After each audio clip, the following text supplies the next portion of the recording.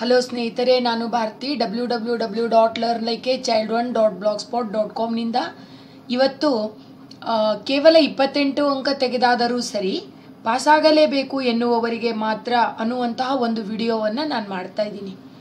ಏನು ಈ ವಿಡಿಯೋದ ಅವಶ್ಯಕತೆ? ಯಾಕೆ ಅಂದರೆ, ಇಲ್ಲಿವರೆಗೂ ನಾನು ಕೊಟ್ಟಿರುವಂಥ ಎಲ್ಲ ಮಟೀರಿಯಲ್ ಕೂಡ ಪಾಸ್ ಆಗೋದಕ್ಕೇ ಇರೋದು. ಜೊತೆಗೆ ಪಾಸಿಂಗ್ ಪ್ಯಾಕೇಜ್ ಅಂತ ಕೂಡ ಕೊಟ್ಟಿದ್ದೀನಿ.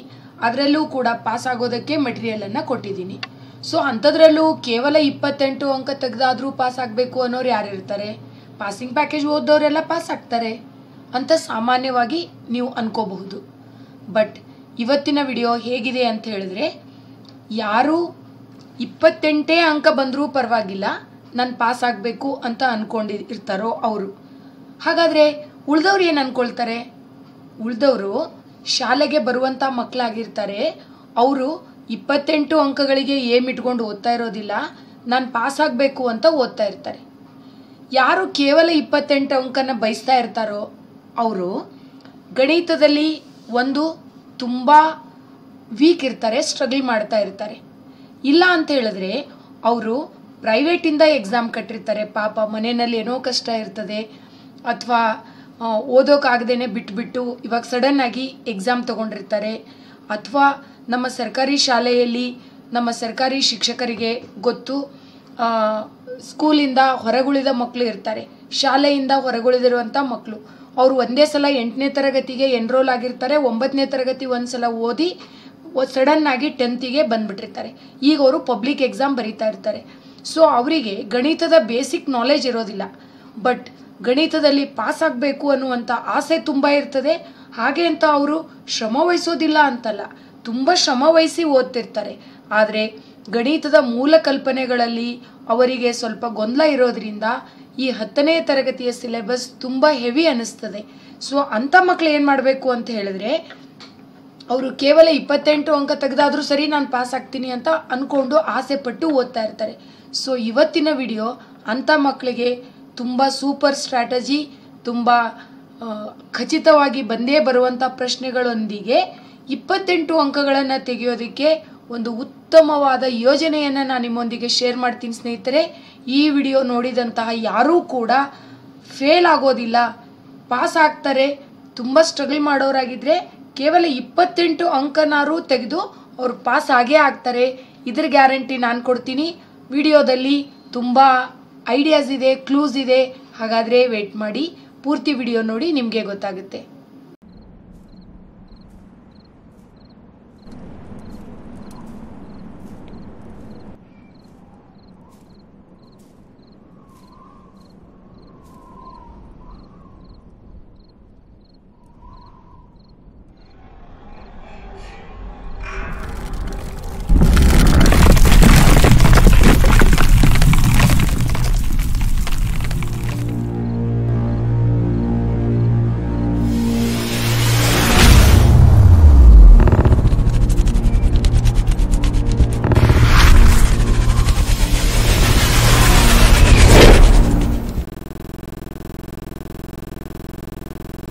ಕೇವಲ ಇಪ್ಪತ್ತೆಂಟು ಅಂಕ ತೆಗೆದಾದರೂ ಪಾಸಾಗಲೇಬೇಕು.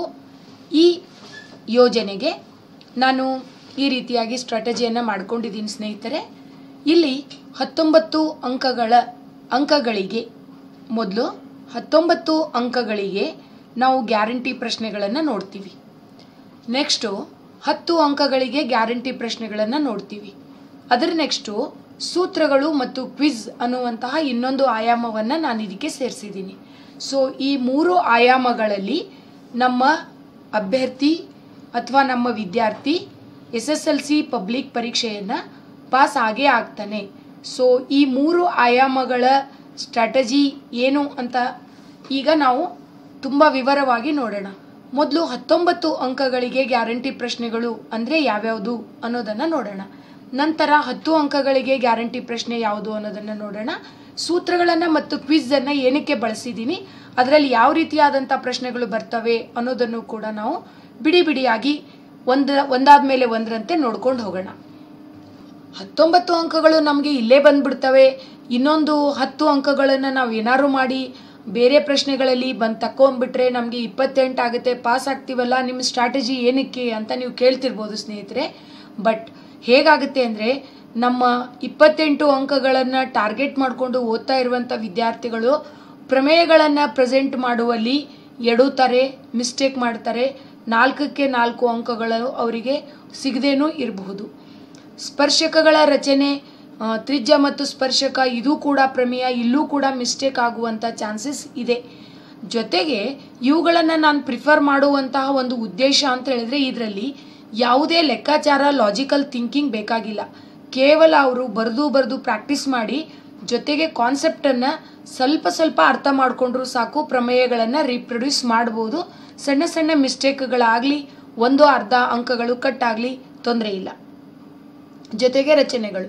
ರಚನೆಗಳಲ್ಲಿ ಸಮರೂಪ ತ್ರಿಭುಜಗಳನ್ನು ರಚಿಸಬೇಕು, ಸ್ಪರ್ಶಕಗಳನ್ನು ರಚಿಸಬೇಕು. ಎಷ್ಟೇ ನಿಖರವಾಗಿ ಪ್ರಾಕ್ಟೀಸ್ ಮಾಡಿಕೊಂಡು ಹೋದರೂ ಕೂಡ, ಅವರಿಗೆ ಮೂಲಭೂತ ಕಲ್ಪನೆಗಳು ಇಲ್ಲದೇ ಇರೋದ್ರಿಂದ ಸಣ್ಣ ಸಣ್ಣ ಮಿಸ್ಟೇಕ್ಗಳಾಗುವಂಥದ್ದು ಸಹಜ. ಇವು ಕೂಡ ರಚನೆಗಳನ್ನು ರಂಗೋಲಿ ಹಾಗೆ ಬರೆದು ಪ್ರಾಕ್ಟೀಸ್ ಮಾಡಿಕೊಂಡ್ರೆ ಮಿಸ್ಟೇಕ್ಸ್ ಆಗಲ್ಲ ಅಂತ ನಾನು ಹೇಳಲ್ಲ, ಮಿಸ್ಟೇಕ್ಸ್ ಕಮ್ಮಿ ಆಗುತ್ತೆ. ಇದನ್ನು ನಾನು ಹೇಗೆ ಹೇಳ್ತಾ ಇದ್ದೀನಿ ಅಂದರೆ ಸ್ನೇಹಿತರೆ, ನನ್ನ ಇಪ್ಪತ್ತು ವರ್ಷದ ಅನುಭವದಿಂದ ನಾನು ಹೇಳ್ತಾ ಇದ್ದೀನಿ. ಪ್ರತಿ ವರ್ಷ ಪೇಪರ್ ವ್ಯಾಲ್ಯೂಯೇಷನ್ ಮಾಡೋಕ್ಕೆ ಹೋದಾಗ ನಾವು ನೋಡ್ತೀವಿ. ಸೊ, ಎಷ್ಟೊಂದು ಪೇಪರ್ಗಳಲ್ಲಿ ಸ ಅವರಿಗೆ ರಚನೆಗಳ ಕಲ್ಪನೆನೇ ಇರೋದಿಲ್ಲ. ನೋಡಿದಾಗ ಗೊತ್ತಾಗುತ್ತೆ ಈ ಮಗುಗೆ ಬೇಸಿಕ್ ಐಡಿಯಾನೇ ಇಲ್ಲ ಅಂತ. ಸೊ ಅಂಥದ್ರಲ್ಲೂ ಕೂಡ ಪ್ರಯತ್ನ ಮಾಡ್ತಿರಲ್ಲ? ದ್ಯಾಟ್ಸ್ ಗ್ರೇಟ್ ಅದನ್ನು ನೀವು ಪ್ರಯತ್ನ ಮಾಡಿ. ತಪ್ಪಾಗಲಿ. ಐದು ಅಂಕಗಳಿಗೆ ಮೂರೇ ಅಂಕ ಬರಲಿ. ಇಲ್ಲೂ ಒಂದು ಅಂಕ ಕಟ್ಟಾಗಲಿ, ಇಲ್ಲೂ ಒಂದು ಅಂಕ ಕಟ್ಟಾಗಲಿ ತೊಂದರೆ ಇಲ್ಲ. ಯಾಕೆ ಅಂದರೆ ನಮ್ಮ ಸ್ಟ್ರಾಟಜಿ ತುಂಬ ಸ್ಟ್ರಾಂಗ್ ಇದೆ. ಮುಂದೆ ಬರ್ತಾ ಬರ್ತಾ ನಿಮಗೆ ಗೊತ್ತಾಗುತ್ತೆ ಇದು ಎಷ್ಟು ಸ್ಟ್ರಾಂಗ್ ಇದೆ ನಿಮ್ಗೆ ಪಾಸ್ ಆಗೋದಕ್ಕೆ ಸಹಾಯ ಮಾಡೇ ಮಾಡುತ್ತೆ ಅನ್ನೋದು. ನೆಕ್ಸ್ಟ್ ಗ್ರಾಫ್ ಗ್ರಾಫ್ನಲ್ಲಿ ನಿಮಗೆ ಪರ್ಫೆಕ್ಟಾಗಿ ನಾಲ್ಕು ಅಂಕಗಳು ಬರ್ತವೆ. ಪ್ರೊವೈಡೆಡ್ ನೀವು ಗ್ರಾಫನ್ನು ಕರೆಕ್ಟಾಗಿ ಮಾಡಿ ಪ್ಲಾಟ್ ಮಾಡಿ ಪಾಯಿಂಟನ್ನು ಇಂಟರ್ಸೆಕ್ಟಿಂಗ್ ಪಾಯಿಂಟನ್ನು ಛೇದಕ ಬಿಂದುವನ್ನು ತೋರಿಸಿದ್ರೆ. ಅಫ್ಕೋರ್ಸ್ ಗ್ರಾಫನ್ನು ಪ್ಲಾಟ್ ಮಾಡಬೇಕಾದ್ರೆ ಮಕ್ಕಳು ಮಿಸ್ಟೇಕ್ ಮಾಡ್ತಾರೆ. ಬೆಲೆಗಳನ್ನು ಕಂಡುಹಿಡಿಬೇಕಾದಾಗ ಚಿಹ್ನೆಗಳ ಕಲ್ಪನೆ ಇಲ್ದಿರ ಶಿಫ್ಟ್ ಮಾಡಬೇಕಾದ್ರೆ ಪ್ಲಸ್ ಬರಲ್ ಮೈನಸ್ ಮೈನಸ್ ಬರಲ್ ಪ್ಲಸ್ ಹಾಕ್ಕೊಂಡು ಅಲ್ಲೂ ಕೂಡ ಸಣ್ಣ ಸಣ್ಣ ಮಿಸ್ಟೇಕ್ಗಳನ್ನು ಮಾಡ್ತಾರೆ. ನಾವು ನಾಲ್ಕು ಅಂಕ ಅಂದ ತಕ್ಷಣ ನಾಲ್ಕು ಅಂಕ ಗ್ರಾಫ್ಗಳಿಗೆ ಬರದೇನೂ ಇರಬಹುದು. ಅಲ್ಲೂ ಕೂಡ ಅಂಕಗಳು ಕಟ್ ಆಗ್ಬೋದು ಓಕೆ, ನೆಕ್ಸ್ಟು ಓಜಿವ್. ಓಜಿವ್ನಲ್ಲಂತೂ ಕನ್ಫ್ಯೂಷನ್ಗೆ ತುಂಬ ಸ್ಕೋಪ್ ಇದೆ. ಯಾಕೆಂದರೆ ನಮಗೆ ಕ್ಲಾಸ್ ಇಂಟರ್ವಲ್ ಕೊಡ್ತಾರೆ.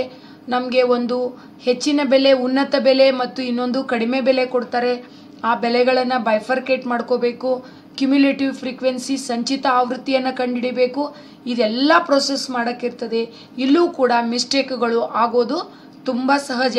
ನಾವು ನೋಡ್ತೀವಿ ಪಾಸ್ ಆಗೋದಕ್ಕೆ ತುಂಬ ಕಷ್ಟ ಏನಿಲ್ಲ ಆದರೆ ಮಕ್ಕಳು ಆದ್ರೂ ಮ್ಯಾಥ್ಸಲ್ಲಿ ಕಡಿಮೆ ಅಂಕಗಳನ್ನು ತೆಗಿತಾರೆ.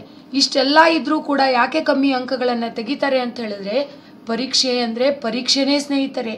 ನಾವು ಅಂದ್ಕೊಂಡಂಗೆ ಎಲ್ಲ ನಡೀತಿದ್ರೆ ಅದನ್ನು ಯಾರೂ ಪರೀಕ್ಷೆ ಅಂತ ಹೇಳ್ತಿರ್ಲಿಲ್ಲ. ಸೊ ಇದರಲ್ಲಿ ಯಾವುದೋ ಒಂದು ಕ್ವಶನ್ ಟ್ವಿಸ್ಟ್ ಆಗ್ಬೋದು. ಯಾವುದೋ ಒಂದು ಕ್ವಶನ್ ನಾವು ಅಂದ್ಕೊಂಡಿರೋ ಹಾಗೆ ಬರದೇ ಇರ್ಬೋದು. ಇಂಥ ಸಂದರ್ಭದಲ್ಲಿ ನಾವು ಕೇವಲ ಇದು ಇದಿಷ್ಟೇ ಸ್ಟ್ರಾಟಜಿಯನ್ನು ಮಾಡಿಕೊಂಡ್ರೆ ನಮಗೆ ರಿಸ್ಕ್ ಆಗುತ್ತೆ. ಓಕೆ ಇದೆಲ್ಲ ಚರ್ಚೆ ಮಾಡಿದ ಮೇಲೆ ನಮಗೆ ಹತ್ತೊಂಬತ್ತಕ್ಕೆ ಎಷ್ಟು ಅಂಕಗಳನ್ನು ನಾವಿಲ್ಲಿ ಎಕ್ಸ್ಪೆಕ್ಟ್ ಮಾಡಬಹುದು?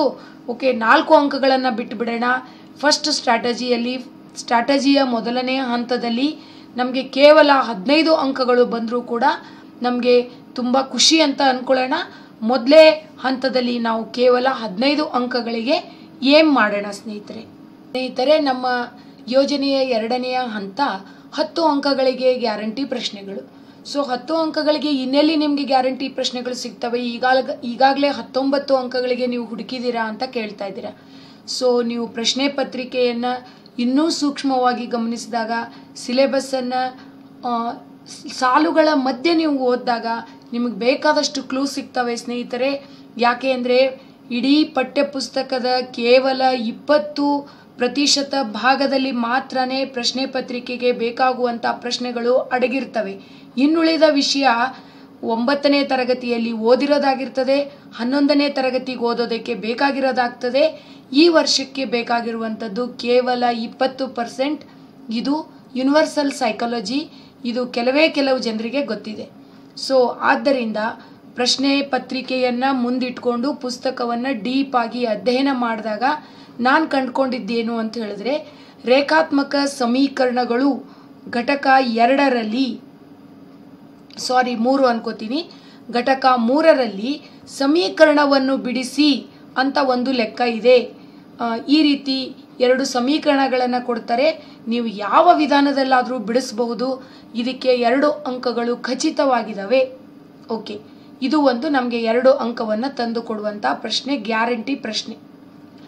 ಇದನ್ನು ಬಿಟ್ಟರೆ ತ್ರಿಭುಜಗಳು ಥೇಲ್ಸ್ ಪ್ರಮೇಯದಲ್ಲಿ ನಮಗೆ ಚಿತ್ರಗಳನ್ನು ಕೊಟ್ಟು ಆ ಚಿತ್ರಗಳಲ್ಲಿ ಅನುಪಾತವನ್ನು ಸಾಧಿಸುವಂಥ ಒಂದು ಪ್ರಶ್ನೆ ಬರುತ್ತೆ. ಆ ಪ್ರಶ್ನೆಯೂ ಕೂಡ ಒಂದು ಖಂಡಿತವಾಗಿ ಅಥವಾ ಖಚಿತವಾಗಿ ಬರುವಂಥ ಪ್ರಶ್ನೆ. ಇಲ್ಲೂ ನಮಗೆ ಎರಡು ಅಂಕಗಳು ಸಿಗ್ತವೆ. ಅದನ್ನು ಬಿಟ್ಟರೆ ಸಂಭವನೀಯತೆ ಸಂಭವನೀಯತೆ ಇಡೀ ಪಾಠನೇ ಚಿಕ್ಕದಾಗಿದೆ. ಇದ್ರ ಮೇಲೆ ಎಲ್ಲೇ ಪ್ರಶ್ನೆ ತೆಗೆದ್ರೂ ನಮಗೆ ಮಾಡಕ್ಕೆ ಬರುತ್ತೆ ತುಂಬ ಸುಲಭವಾದ ಪ್ರಶ್ನೆಗಳು. ಆದ್ದರಿಂದ ನಮಗೆ ಇಲ್ಲೂ ಕೂಡ ಎರಡು ಅಂಕಗಳು ಸಿಕ್ಕೇ ಸಿಗ್ತವೆ. ನೆಕ್ಸ್ಟ್, ವರ್ಗ ಸಮೀಕರಣ.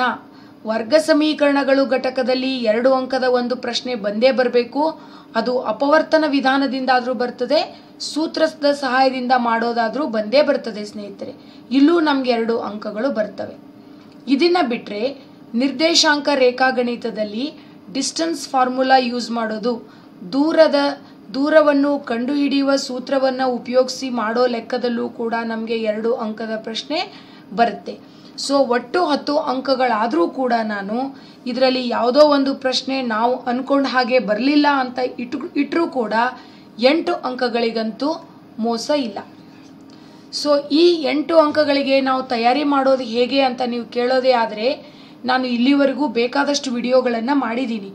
ಆದರೆ ಈ ಕೇವಲ ಇಪ್ಪತ್ತೆಂಟು ಅಂಕಗಳನ್ನು ತೆಗೆದು ಪಾಸ್ ಮಾಡೋರಿಗೋಸ್ಕರ ಇದರಲ್ಲಿ ಯಾವ ಕಾನ್ಸೆಪ್ಟ್ ಅಥವಾ ಪರಿಕಲ್ಪನೆ ರಿಪೀಟ್ ಆಗಿಲ್ವೋ ಅವುಗಳನ್ನು ನಾನು ಇನ್ನೊಂದು ಸಲ ನಿಮಗೆ ತುಂಬ ಸುಲಭವಾಗಿ ವಿಡಿಯೋ ಮಾಡಿ ಕೊಡ್ತೀನಿ ಸ್ನೇಹಿತರೆ, ಇನ್ನು ಮುಂದೆ ಬರುವ ದಿನಗಳಲ್ಲಿ.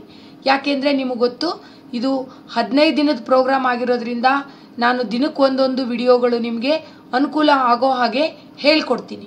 ಸೊ ಯೋಚನೆ ಬೇಡ, ಎರಡನೆಯ ಹಂತದಲ್ಲಿ ನಮಗೆ ಎರಡು ಅಂಕಗಳು. ಈಗಾಗಲೇ ಹಿಂದಿನ ಹಂತದಲ್ಲಿ ಹದಿನೈದು ಅಂಕಗಳನ್ನು ಗಳಿಸಿದ್ವಿ, ಇಲ್ಲಿ ಎರಡು. ಸೊ ಒಟ್ಟಿನಲ್ಲಿ ನಮಗೆ ಇಪ್ಪತ್ತ್ಮೂರು ಅಂಕಗಳು ಈಗ ಸಿಕ್ಕಂಗಾಯಿತು. ಪಾಸ್ ಆಗೋದಕ್ಕೆ ನಾವು ತುಂಬ ಹತ್ತಿರ ಇದ್ದೀವಿ ಇನ್ನೂ ನಮಗೆ ಐದು ಅಂಕಗಳು ಬೇಕು. ಈ ಐದು ಅಂಕಗಳಿಗೆ ಏನು ಮಾಡೋದು ಅನ್ನೋದನ್ನು ಇದೀಗ ನಾವು ನೋಡೋಣ. ಸ್ನೇಹಿತರೆ ಮೂರನೆಯ ಹಂತದಲ್ಲಿ ನಾವು ಸೂತ್ರಗಳು ಮತ್ತು ಕ್ವಿಝನ್ನು ನೋಡ್ತೀವಿ. ಯಾಕೆ ಸೂತ್ರಗಳು ಮತ್ತು ಕ್ವಿಝ್ ನಮಗೆ ಬೇಕು ಅಂತ ಕೇಳಿದ್ರೆ, ಸೂತ್ರಗಳನ್ನು ಕಲಿಯೋದ್ರಿಂದ ಒಟ್ಟು ನಾನು ಇಡೀ ಪುಸ್ತಕದಿಂದ ತೆಗೆದು ಇಪ್ಪತ್ತ್ಮೂರು ಸೂತ್ರಗಳನ್ನು ಪಟ್ಟಿ ಮಾಡಿದ್ದೀನಿ ಸ್ನೇಹಿತರೆ. ಇದಕ್ಕೂ ಕೂಡ ನಾನು ಡೌನ್ಲೋಡ್ ಲಿಂಕ್ ಕೊಡ್ತೀನಿ ನಿಮಗೆ. ಈ ಇಪ್ಪತ್ತು ಮೂರು ಇಪ್ಪತ್ತ್ಮೂರು ಸೂತ್ರಗಳನ್ನು ನೀವು ಡೌನ್ಲೋಡ್ ಮಾಡಿಕೊಂಡು ಕಲಿಬೇಕಾಗುತ್ತೆ. ಇದನ್ನು ಕಲಿಯೋದಕ್ಕೆ ನನ್ನ ಎರಡು ವಿಡಿಯೋಗಳು ಕೂಡ ಆಲ್ರೆಡಿ ಲೈವಲ್ಲಿದ್ದಾವೆ ಅವುಗಳನ್ನು ನೀವು ನೋಡಿದ್ರೆ ಸೂತ್ರಗಳನ್ನು ಹೇಗೆ ಸುಲಭವಾಗಿ ಬರಿಬೋದು ಅನ್ನೋದನ್ನು ನಾನು ಅಲ್ಲಿ ಎಕ್ಸ್ಪ್ಲೇನ್ ಮಾಡಿದ್ದೀನಿ. ಈ ವಿಡಿಯೋದ ಕೆಳಗಡೆ ಲಿಂಕ್ ಕೂಡ ಕೊಟ್ಟಿದ್ದೀನಿ. ಜಸ್ಟ್ ನೀವು ಅದನ್ನು ಒಂದ್ಸಲ ನೋಡಿಬಿಡಿ. ನೋಡಿದಾಗ ನಿಮಗೆ ಗೊತ್ತಾಗುತ್ತೆ ಸೂತ್ರಗಳನ್ನು ಹೇಗೆ ಬರೀಬಹುದು ಅಂತ. ಸೊ ಈ ಇಪ್ಪತ್ತ್ಮೂರು ಸೂತ್ರಗಳನ್ನು ನೀವು ಕಲ್ತ್ರಿ ಅಂದರೆ ನಿಮಗೆ ಎರಡರಿಂದ ಮೂರು ಅಂಕಗಳು ಮಿನಿಮಮ್ ನಾನು ಹೇಳ್ತಾ ಇರೋದು. ಹೈ, ಜಾಸ್ತಿ ಅಂದರೆ ಐದು ಅಂಕಗಳವರೆಗೂ ನಿಮಗೆ ಅಂಕ ಸಿಗ್ಬೋದು. ಬಟ್ ನಾನು ಮಿನಿಮಮ್ ಹೇಳ್ತಾ ಇರೋದ್ರಿಂದ ಅತ್ಯಂತ ಕಡಿಮೆ ಅಂದರೆ ನಿಮಗೆ ಎರಡರಿಂದ ಮೂರು ಅಂಕಗಳು ಬಂದೇ ಬರ್ತವೆ. ಇಪ್ಪತ್ತ್ಮೂರು ಸೂತ್ರಗಳನ್ನು ನೀವು ಸರಿಯಾಗಿ ಅರ್ಥ ಮಾಡಿಕೊಂಡು ಓದ್ಕೊಳ್ಳೋದ್ರಿಂದ. ನೆಕ್ಸ್ಟ್ ಬಂದ್ಬಿಟ್ಟು ಕ್ವಿಜ್ ಕ್ವಿಜ್ದಲ್ಲಿ ಹದಿನೈದು ಪ್ರಶ್ನೆಗಳನ್ನು ನಾನು ಆಯ್ಕೆ ಮಾಡ್ಕೊಂಡಿದ್ದೀನಿ ಸ್ನೇಹಿತರೆ. ಈ ಹದಿನೈದು ಪ್ರಶ್ನೆಗಳು ಸುಮ್ಮನೆ ಪುಸ್ತಕದಲ್ಲಿ ಎಲ್ಲೋ ಒಂದು ಪೇಜಿಗೆ ಹೋಗ್ಬಿಟ್ಟು ತೆಗೆದಿರುವಂಥ ಪ್ರಶ್ನೆಗಳಲ್ಲ. ಮೋಸ್ಟ್ ಎಕ್ಸ್ಪೆಕ್ಟೆಡ್ ಕ್ವಶನ್ ಈ ಸಲ ಪಬ್ಲಿಕ್ ಪರೀಕ್ಷೆಯಲ್ಲಿ ಬರಲೇಬೇಕು, ಬಂದೇ ಬರ್ತವೆ ಅನ್ನುವಂಥ ಒಂದು ಹದಿನೈದು ಪ್ರಶ್ನೆಗಳನ್ನು ನಾನು ಹುಡುಕಿದ್ದೀನಿ. ಈ ಹದಿನೈದು ಪ್ರಶ್ನೆಗಳಿಂದ ನಿಮಗೆ ಎರಡರಿಂದ ಮೂರು ಅಂಕಗಳು. ಮ್ಯಾಕ್ಸಿಮಮ್ ಐದು ಬರ್ಬೋದು. ನಾನು ಮಿನಿಮಮ್ ಎರಡರಿಂದ ಮೂರು ಅಂಕಗಳನ್ನು ಹಿಡಿದಿದ್ದೀನಿ. ಸೊ ಇಲ್ಲಿ ಮೂರು ಅಂಕ, ಇಲ್ಲಿ ಮೂರು ಅಂಕ ಹಿಡಿದ್ರೆ ನಮಗೆ ಆರು ಅಂಕ ಆಯಿತು. ಈಗಾಗಲೇ ನಮ್ಮ ಹತ್ರ ಇಪ್ಪತ್ತ್ಮೂರು ಅಂಕ ಇತ್ತು. ಈಗ ಅದಕ್ಕೆ ಆರು ಅಂಕಗಳನ್ನು ಕೂಡಿಸಿದ್ರೆ ಇಪ್ಪತ್ತೊಂಬತ್ತು ಅಂಕ ಬಂತು. ನೀವು ಇಲ್ಲಿ ಯಾವುದೇ ಒಂದು ಭಯ ಇಲ್ದಿರ ಇಪ್ಪತ್ತೊಂಬತ್ತು ಅಂಕಗಳಿಗೆ ಓದ್ಕೋಬಹುದು. ಯಾಕೆ ಅಂದರೆ ನಾವು ಎಲ್ಲೂ ಕೂಡ ಅಷ್ಟಕ್ಕಷ್ಟೇ ಅಂಕಗಳನ್ನು ಹಿಡಿದಿಲ್ಲ. ಕಮ್ಮಿ ಹಿಡಿದಿದ್ದೀವಿ. ಹತ್ತೊಂಬತ್ತು ಬರೋ ಜಾಗದಲ್ಲಿ ನಾವು ಹದಿನೈದು ಅಂಕಗಳನ್ನು ಹಿಡಿದಿದ್ದೀವಿ. ಅಲ್ಲಿ ನಾಲ್ಕು ಅಂಕಗಳು ನಾವು ಮಾಡುವಂಥ ಮಿಸ್ಟೇಕ್ಗೆ ಅಂತ ಬಿಟ್ಟಿದ್ದೀವಿ. ಸೊ, ಹಂಗ ಅಂಥ ಪರಿಸ್ಥಿತಿಯಲ್ಲಿ ನಿಮ್ಮ ಸ್ಕೋರಿಂಗ್ ಚೆನ್ನಾಗೇ ಆಗುತ್ತೆ. ನೀವು ಇಪ್ಪತ್ತೆಂಟಕ್ಕಿಂತ ಹೆಚ್ಚಿನ ಅಂಕಗಳನ್ನು ತೆಗೆದೇ ತೆಗಿತೀರಾ. ಈ ಸೂತ್ರಗಳು ಅಷ್ಟೇ ತುಂಬ ವೈಜ್ಞಾನಿಕವಾಗಿ ನಾನು ಪ್ಲ್ಯಾನ್ ಮಾಡಿ ಬರೆದಿದ್ದೇನೆ. ಜೊತೆಗೆ ಈ ಹದಿನೈದು ಪ್ರಶ್ನೆಗಳು ಕೂಡ ತುಂಬ ಸುಲಭವಾಗಿ ಲೆಕ್ಕ ಮಾಡೋ ಹಾಗೆ ಉತ್ತರ ಸಮೇತ ನಾನು ಪಿ ಡಿ ಎಫ್ ಫಾರ್ಮಲ್ಲಿ ಕೊಟ್ಟಿದ್ದೀನಿ. ಮತ್ತು ಈ ಫುಲ್ ಕ್ಯಾಪ್ಸ್ಯೂಲಲ್ಲಿ ನಿಮಗೆ ಹತ್ತೊಂಬತ್ತು ಅಂಕಗಳಿಗೆ ಪ್ರಶ್ನೆಗಳು, ಜೊತೆಗೆ ಎರಡು ಅಂಕಗಳಿಗೆ ಪ್ರಶ್ನೆಗಳು, ಜೊತೆಗೆ ಸೂತ್ರ ಮತ್ತು ಕ್ವಿಜ್ ಎಲ್ಲವನ್ನೂ ಕೂಡ ಡೌನ್ಲೋಡ್ ಮಾಡ್ಕೊಳ್ಳೋ ಹಾಗೆ ಒಂದು ಕ್ಯಾಪ್ಸ್ಯೂಲನ್ನು ನಾನು ರೆಡಿ ಮಾಡಿದ್ದೀನಿ ಸ್ನೇಹಿತರೆ. ನೀವು ಇದನ್ನು ಉಪಯೋಗಿಸ್ಕೊಂಡ್ಮೇಲೆ ಕಡಿಮೆ ಅಂಕ ಬರೋದಕ್ಕೆ ಚಾನ್ಸೇ ಇಲ್ಲ. ಜೊತೆಗೆ ನಾನು ಮುಂಬರುವ ದಿನಗಳಲ್ಲಿ ಈ ಸೂತ್ರಗಳಿಂದ ಕ್ವಿಜ್ಗಳಿ ಕ್ವಿಜ್ಗಳಿಂದ ಸಣ್ಣ ಸಣ್ಣ ಪ್ರಶ್ನೆಗಳನ್ನು ತಗೊಂಡು ನಾಲ್ಕು ನಾಲ್ಕು ಪ್ರಶ್ನೆಗಳನ್ನೇ ಹೇಗೆ ಕಲಿಬೋದು ಅನ್ನೋದನ್ನು ನಾನು ಪ್ರಾಕ್ಟಿಕಲಿ ಡೆಮಾನ್ಸ್ಟ್ರೇಟ್ ಮಾಡ್ತೀನಿ ನಾಳೆಯಿಂದ ಬರುವಂಥ ವಿಡಿಯೋಗಳಲ್ಲಿ. ಅದನ್ನು ನೀವು ತಪ್ಪದಿರ ನೋಡಬಹುದು ಅದರಿಂದ ನಿಮಗೆ ತುಂಬ ಅನುಕೂಲ ಆಗುತ್ತೆ ಸ್ನೇಹಿತರೆ. ಒಟ್ಟಿನಲ್ಲಿ ಈ ಕ್ಯಾಪ್ಸ್ಯೂಲನ್ನು ನೀವು ಉಪಯೋಗಿಸೋದ್ರಿಂದ ಇಪ್ಪತ್ತೆಂಟು ಅಂಕಗಳನ್ನು ತೆಗೆದು ನೀವು ಆರಾಮಾಗಿ ಯಾವುದೇ ತೊಂದರೆ ಇಲ್ದಿರ ಪಾಸ್ ಆಗ್ಬೋದು ಅದರ ಗ್ಯಾರಂಟಿ ನಾನು ಕೊಡ್ತೀನಿ. ಜೊತೆಗೆ ನಾಳಿನ ವಿಡಿಯೋಗಳಲ್ಲಿ ನೀವು ಪ್ರಾಕ್ಟಿಕಲ್ ಡೆಮೋ ನೋಡೋದಕ್ಕೆ ತಯಾರಾಗಿರಿ.